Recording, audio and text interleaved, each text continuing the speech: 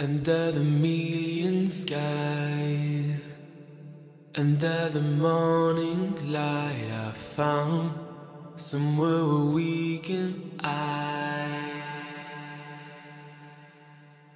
The sound of mine, of mine.